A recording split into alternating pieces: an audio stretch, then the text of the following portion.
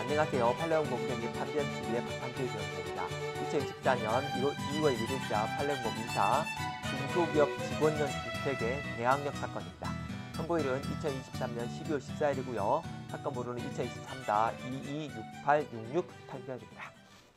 사건은 이제 건물 인도 선고고요. 어, 원고가 임대인이고 피고는 이제 임차인 회사입니다. 상고를 했는데 상고 기각됐죠. 내용 보시죠. 이 원고는 2019년 12월 4일 보증금 2억 원에 어, 차임 1,500만 원으로 해서 2021년 12월 11일까지 2년간의 임대차 계약을 피고 여기는 회사죠. 피고 회사입니다. 피고 회사와 체결합니다. 그리고 나서 피고의 대표이사인 A가 부동산을 인도받아서 전입신고를 마치고 거주를 하기 시작했습니다. 원고는 2021년 9월 29일 날 어, 이제 계약이 끝나니까 나가라 이렇게 퇴고를 요구하니까 피고 회사가 2021년 10월 5일 날그 계약 갱신을 요구합니다. 그러니까 이제 갱신을 어, 인정하지 않고 원고가 이 사건 소송을 제기한 거죠.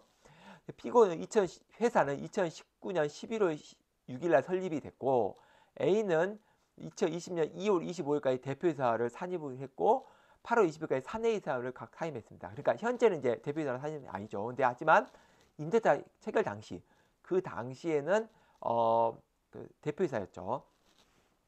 문제는 주택임대차 보호법 제3조 제3항에서 법인이 소속 직원의 주거용으로 주거를 임대하는 경우에는 대항력을 취득할 수 있습니다. 어떻게?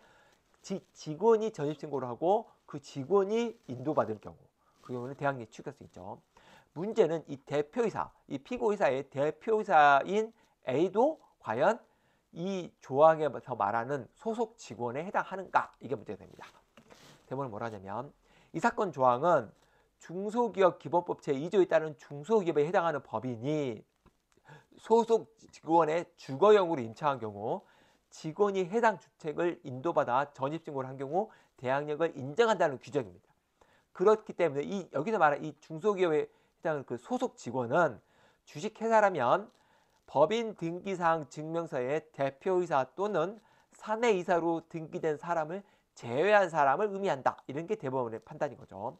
그런데 A는 피고의 대표이사 그러면 사내이사로서 이 사건 조항이 적용 대상 직원이 아니기 때문에 계약 갱신 요구권을 가지지 않는다는 겁니다. 따라서 음, 계약 갱신 요구를 할 수가 없고 그러면 기간 만료로 인해서 계약 계약이 종료됐기 때문에 나가야 되는 거고 그러니까 토지 건물 인도 해줘야 된다는 거죠.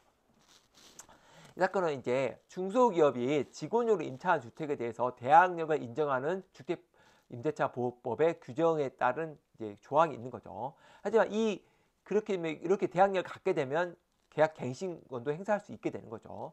하지만 이 직원이라는 의미에는 대표이사나 사내이사는 포함되지 않는다라는 게 이 판결의 내용입니다.